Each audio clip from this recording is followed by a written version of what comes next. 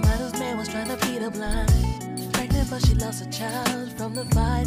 Then he knocked her down in the closet last night. I was choked up.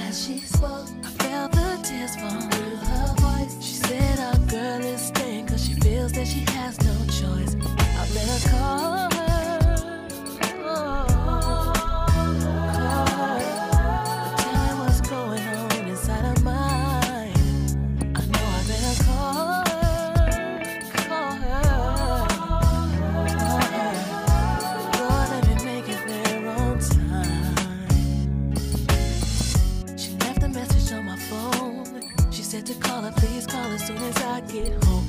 I gotta feed the kids, get them in the bath.